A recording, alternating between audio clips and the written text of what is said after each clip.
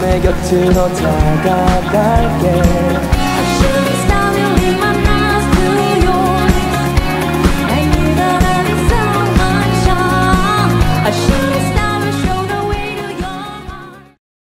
클래지컬 프로젝트 여러분들 아시나요? 네. 거기서 프로듀싱을 하고 있는 클래지라고 합니다.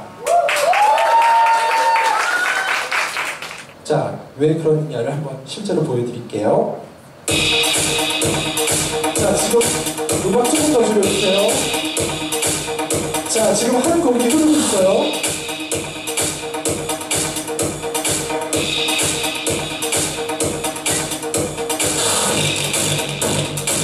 자, 제가 다른 곡을 틀었죠?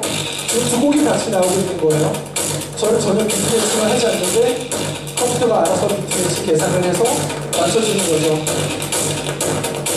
자, 이 창이 뜹니다. 이 창은 edit 창이에요. 이 창은 이제 타임라인이 흘러가면서 여기 프로그램을 해서 넣을 수 있는 거죠. 자, 이런 창에 여러분들이 연주를 하는 것도 Pro Tool 플레이와 동시에 연주가 될 수 있어요.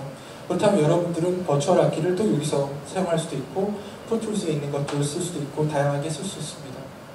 강한 motivation이 필요해요. 근데 그 강한 motivation 중에 하나는 전 시간이라고 봐요. 시간의 압박은 굉장히 스트레스지만 그 시간의 압박은 창작에 굉장히 도움을 줍니다. 데드라인이 없으면 여러분들 절대 음악 끝내지 못해요. 뭔가 더 할 수 있을 것 같은데 여지가 자꾸 남죠. 그래서 스스로에게 데드라인을 주는 건 굉장히 중요합니다.